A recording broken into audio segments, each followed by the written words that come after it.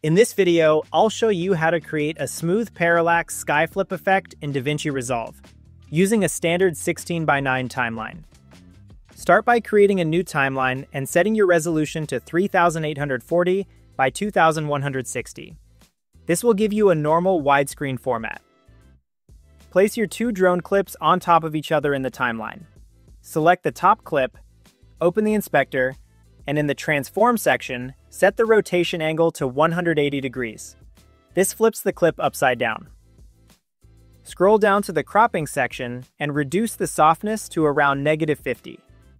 Then, adjust the zoom of the top clip until both skies blend together smoothly without a visible line between them. Once that looks good, select both clips, right-click, and choose New Compound Clip. This will merge them into a single layer so we can animate everything more easily.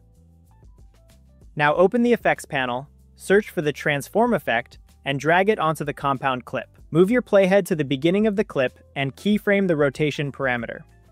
Then move the playhead to the end and set the rotation to 180 degrees. This creates the flip animation. Now, to make the movement more dynamic, let's add a smooth zoom. At the start of the clip, add a keyframe. Then, halfway through the rotation, increase it slightly to around 1.6. And finally, increase it back to 1 near the end. This creates a gentle zoom in and out, giving the scene more depth and motion. In the inspector, scroll down to the motion section and increase motion blur to the maximum value for a smoother, more cinematic rotation.